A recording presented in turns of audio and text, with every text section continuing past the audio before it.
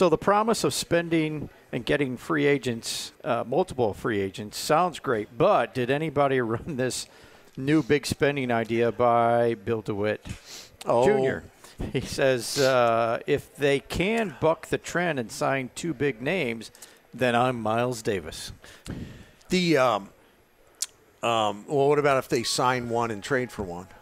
See, I think Again, category Yeah. A, B. It's not going to be all in one category. I think if you ask me, they'll try and get one from an A, but I, it'll be on the bottom end of whatever A is. We'll, we'll figure that out. I don't know that there's much of a bottom of A. Well, that's probably Yeah. part of that too. Might even be a B rather than an A. Yeah. But I also think they will f- try and find a way to trade for a younger arm that could be a potential A.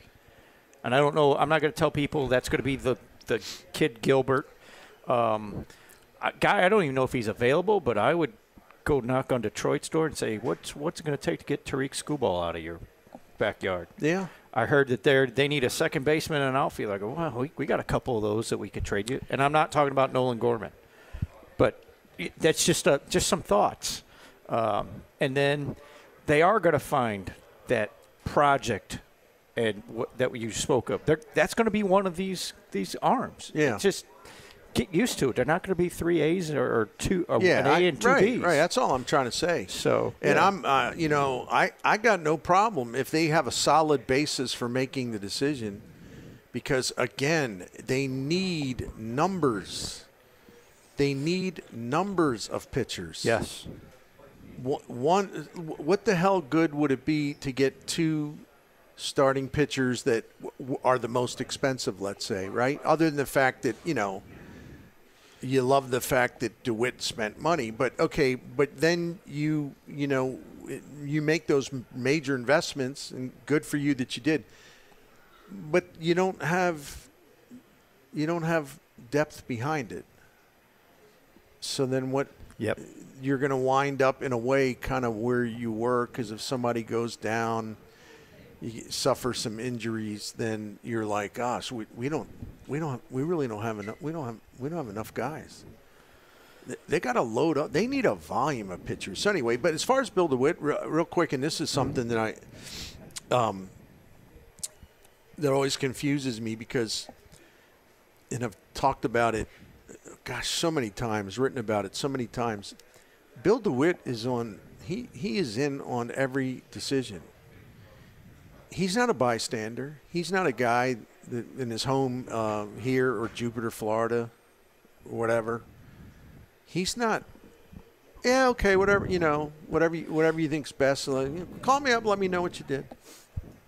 He, you know, so people have always been so off base when they they just isolate specifically on Mo. Mo's got Mo has screwed a lot of things up, but he, Mo also has guardrails. You know, he Yeah. know he knows what Bill DeWitt likes to do, doesn't want to do. He's got a budget that he does not set. The owner sets, and the owner, the chairman, is in on every single thing, even minor things. But no, people. That, I don't know why that, that that's. It seems to be difficult to comprehend for some folks. I don't know why. More from the text line, Bernie. How do they acquire an im- impact arm via trade without moving Gorman, Winn, Walker, or Tink Hence? Oh, they can. They can. Um, I'll tell. I'll tell you one way they can. Is, and pe- again, people will sneer. I I don't really care, frankly. Um, if they make it known for sure that Tommy Edman is available, and I'm not saying he's the centerpiece Right.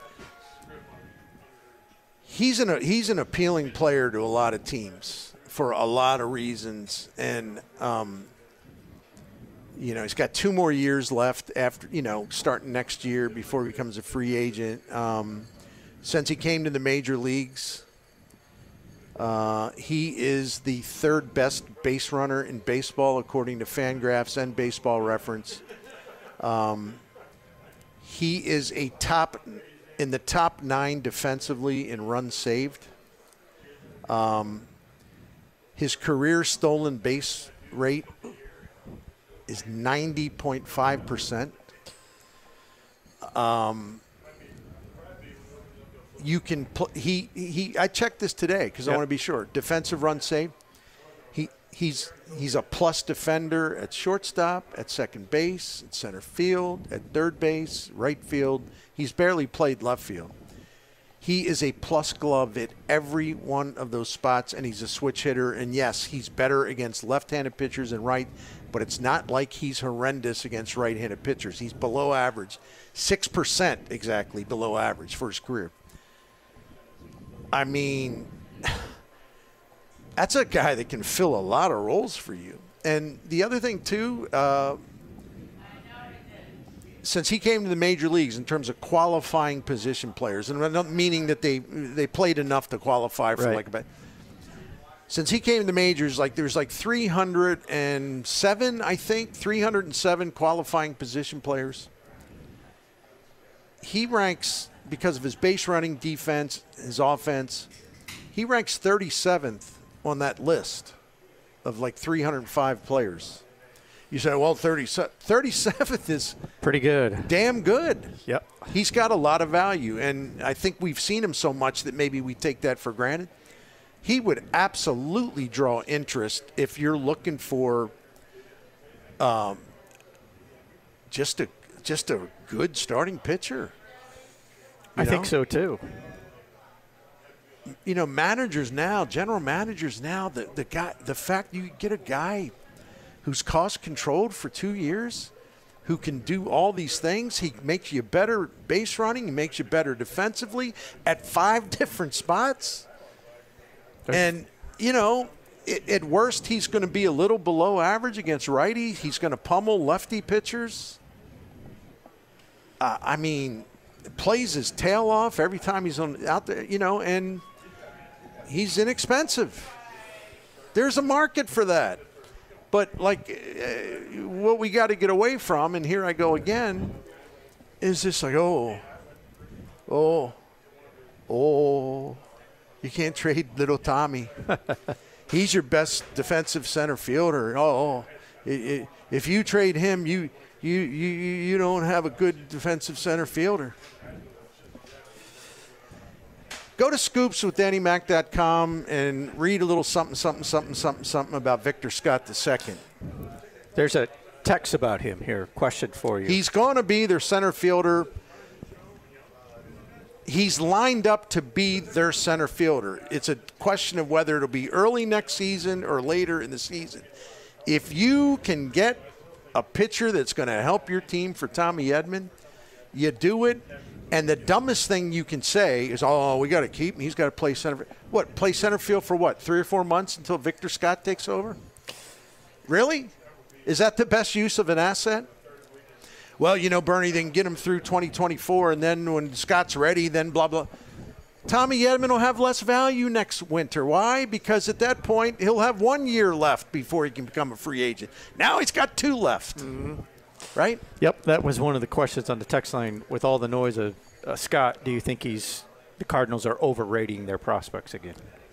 And that that, that was one of the questions uh, also on our text line. today. There, there's a uh, former major league scout. He was a scout for the Astros, scout for um, the Mariners, and you're gonna have to you're gonna have to listen to me read some things, but they're quotes.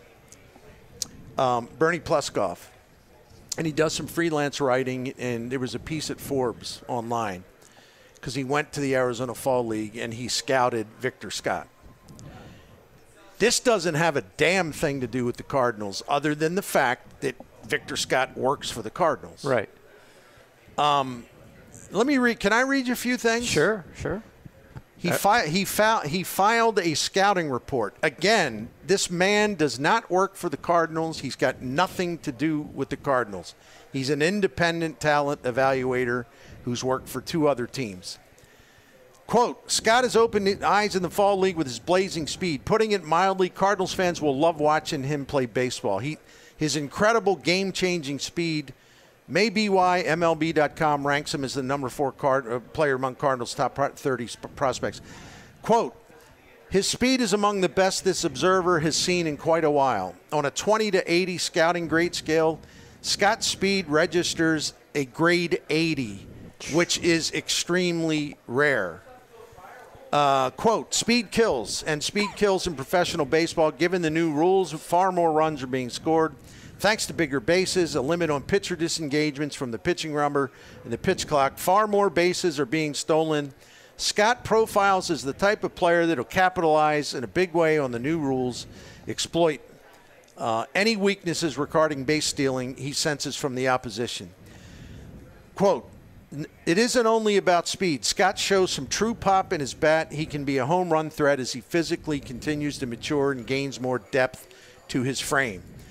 Scott may also gain home run power when he learns, like young hitters have to learn, figures out how pitchers are trying to get him out. Quote, this scout has seen Scott make consistent contact in the Arizona Fall League while scouts have expressed concerns about a potential strikeout problem. The issue has not surfaced in the games this scout has observed. He's only struck out eight times in 99 plate appearances, and I, I can throw this in. This year in the minor leagues, his strikeout rate was around 10%. That's outstanding. Quote, with his speed, one might want to see Scott walk a bit more. It would help him get on base, allowing him to use his world class speed, but Scott goes to the plate to hit the ball. He should be able to hit for a solid big league average. He won't win a batting title, but if he can get on base, he's a guy who can steal second and then possibly third, and he's going to put himself in position to score plenty of runs. Um, quote, former major league scout filed a, filed a scouting report. It has nothing to do with the Cardinals as far as his affiliation. Independent. Quote, using excellent speed and good route running, Scott's a solid outfielder. He pros, profiles as a take charge center fielder with great ability to track balls off the bat and chase down drives to both gaps. Because his arm strength is average, he isn't a candidate to play right field. That's all right. They don't need a right fielder. Uh, quote, with potential for power to emerge in the future and good defensive play to this scout, Scott projects as a grade 55 player. That means an above average major league talent. A grade 55 player is in the lineup daily, and he's not a platoon guy. Keith Law, the athletic, talking about, and he was a guy that wasn't all that high on Law before the Arizona uh, Oh, Fall yep, League. yep, yep. He like like like early last season, he was like, okay, you know, he's got speed, but I don't know about the other stuff. Uh, let me just read this uh, really quick about his defense. For all these people that are like, oh, you can't. Uh, uh, we need we we need little Tommy out there. we we you, we got to have little Tommy out in center field. Keith Law, he looked very good in Arizona, not just on the bases. Here's the key quote He can play the heck out of center field. He's got great reads that give him unbelievable range coupled with his speed. That's Keith Law, who's a cynic if there ever was one. Yep. He doesn't he doesn't get a paycheck from the Cardinals. So I, I just gave you two things right there. So when you ask if the Cardinals are overrating Victor Scott because they always overrate their own prospects, they have a bad habit of doing that. Hmm. Your question's wrong based on what I just gave you. The question should be, well, is this former Major League scout Bernie Pleskoff and Keith Law, or do they always overrate prospects? No. They have a critical eye because I've read them both for years. Keith Law throw it all out there. Like this Connor Herpy, the uh, the first round yeah, yeah. Sorry, I Yep, was saying no, that's right. um, he just said in Arizona Fall League, you know, Keith Law said, I'm not impressed. His his his pitching motions messed up and this and that, and this and that. He he he doesn't just give you a stock rote answer. Oh, I like uh, I'm a I'm a friend with one of the Cardinals analysts, so I'm going to praise all their prospects. No, that's that's the wrong guy. He doesn't do that way. He'll he'll rip them if he thinks they're he doesn't understand the fuss. See, you got you got you you got another asset you can move this winter because you have Victor Scott who's going to be knocking on the door uh, real soon.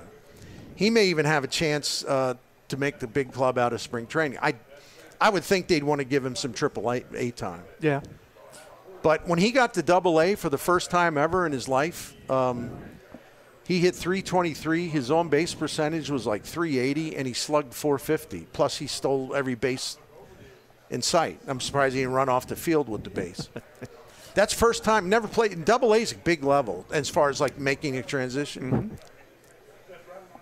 He was an excellent hitter at Double A, and that was his first exposure to Double A. So I don't, I don't know. Uh, again, here we go. It's like that's a guy. If the Cardinals can break of their addiction to certain players, I don't care that Oli Marmol, like Tommy Edman, is one of Oli's favorites. Right. I don't care about that because Oli is a young, insecure manager, and it's like so if he's got a guy like Edman, or yeah, yeah, what do you? I'll, I'll, play anywhere. I'll run through the wall. I'll dig it. Uh, uh, I'll, I'll cover so much grass. I'll be digging up the outfield, chasing balls.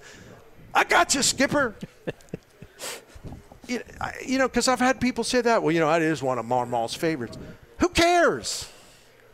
I mean, that's one of the problems around this place. That's why, you know, it's like, you know, uh, certain players on the managers, like, oh, you know, this guy really likes me. He really respects me. So, oh, yeah, I got to take care of him. That's no way to run a ball club. No. It, Tommy's a great dude. I'm being a little. Well, yeah, it's not I, like I, I'm, I'm make not fun. I'm not making fun of him. I'm making fun of the way he's perceived, and also in a way the way the Cardinals are, as like as if he's absolutely indispensable. I don't think he is. That's all I'm trying to say. And if you're going to make a move, you would make a move now when you've got a fast rising and just fast running prospect who's knocking on the door. And there is value on the trade block for Tommy Edman. But you got to be men about this. You got to be adults about it. You can't do that. little Tommy's our guy. He's one of my favorites. How many games you lose last year? Well, because you didn't have pitching. If you got to trade something, man, you got to move something, and that's why you know I mentioned Skubal or somebody like that on some team. They're looking for a second baseman, and you get one of your outfielders. You want to give him Carlson, who's got years of uh, control on there, and somebody thinks he can still be what they thought he was going to be it's just I'm just throwing out names, but those are all guys that got to be considered as possible pieces to move here. Yeah, no, I, because I, you know, I, I agree, man. If they came to me and said, "Okay, we've made some moves, we got some pitching, and we had to trade some guys to get pitching," if they said Nootbaar's in center I'm going to have Donovan in left and Walker in right to start the year, and we'll move on. And I got Gorman at second. I go, okay, we, as long as we've acquired some pitching. See, now that's the appeal of, uh, of Edman, too, because I really mean it. So a team will say, you know, I really need a second baseman, just to follow your yep. point. I really need a second baseman. Cardinals are like, well, oh, we got a second baseman for you. You want to go glove? Yeah.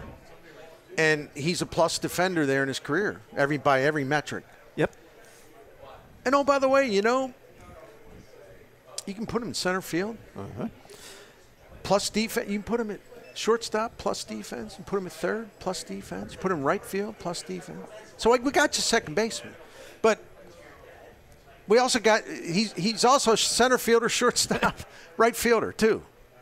What do you need? He can do it. Yeah, that's that's so key to what's what the possibilities are with the trade. I actually think uh, Tommy Edman, if he ended up being dealt to a smarter organization, they they would be able to find a way to get him to be a more consistent hitter from the left side, or they would actually convince him that he just needs to bat right-handed from now on. That could be it too. Yeah. You know. Very good point. So anyway, maybe a team like Tampa's interested in him.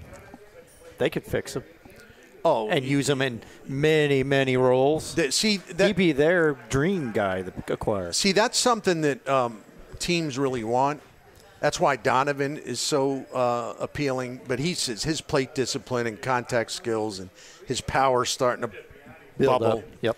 His on base percentage for a left-handed hitter, he hits uh, lefties okay, better than okay. Mm-hmm but Donovan's another guy that can you can use all over the chessboard, you yep. know. And uh, teams want that now because you know why?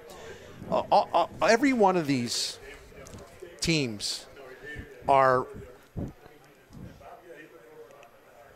carrying too many pitchers because they have to. Yeah. And the ma- if the managers could carry 20 pitchers, they would. Well, I, I, that's all right. I only need four position players, you know. So, therefore, when you have a shorter or smaller bench than you used to, guys who can play multiple positions, that is a huge deal. Because if you pinch hit for someone or whatever and you bring somebody in the game, you can move them around for nine innings if you have to, right? Absolutely true. You don't need a specific bench guy at those positions. You know, you can you can deploy him all over the place. They got a lot of moving parts that they can, again, they can adjust on the fly if they have to. They just got to figure out which ones they want to keep and which ones they're going to move. Yeah. And they'll figure it out. I hope. I mean, they've got enough opportunity there to make that happen. So I'm uh, the the only one that uh, well, I shouldn't say the only one. Um, I'm I get the heebie-jeebies when you know I see people online.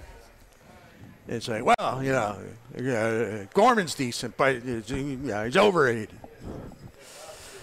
that's the one guy I don't want to move this offseason if they I'm- don't have to. 23 years old, the Cardinals have never had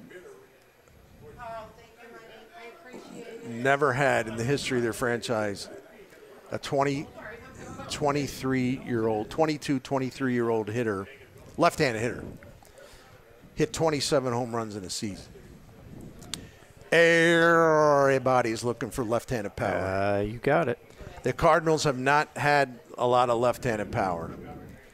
They developed him. The kid works his tail off. He he got better last year. A lot of it was because of commitment to hard work. And you got morons who are just uh, because he's not Mel Ott already. Well, you know, he's been up a couple years. He's 23. And when they drafted him, everybody knew it was going to take him time to develop some hitting skills and to close up the holes in his swing. And he's working like a dog to get it done. And he made progress last year. Um, he went in through one funk, and again, he's got to make them shorter. Yep. It just amazes me how many people just like view him as like he's just a guy. Ah, he's all right. He's just kind of overrated.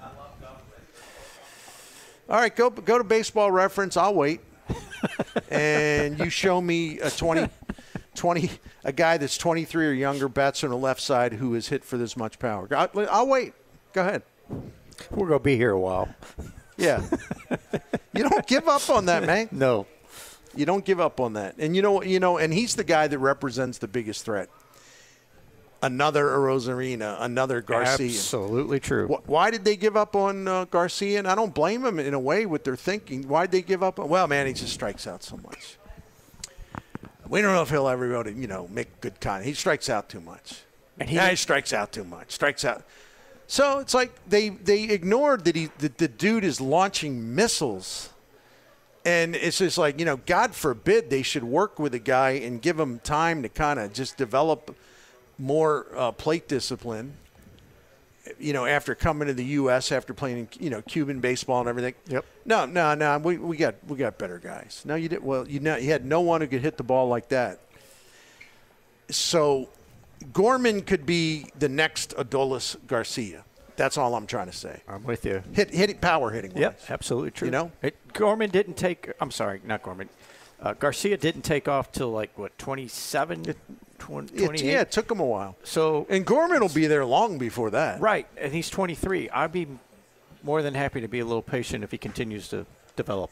Right. Let it, just let him do his thing. I'd hate to give up Donovan too because this guy, man, he is so valuable to that offense in so many different ways. And you know, people love quote, you know, clutch hitting. Yep. I, I've read those numbers on the air. Um, his, his numbers w- with runners and scoring position, his numbers in high leverage situations, unbelievably good. And he's um, he's a really important part of their offense.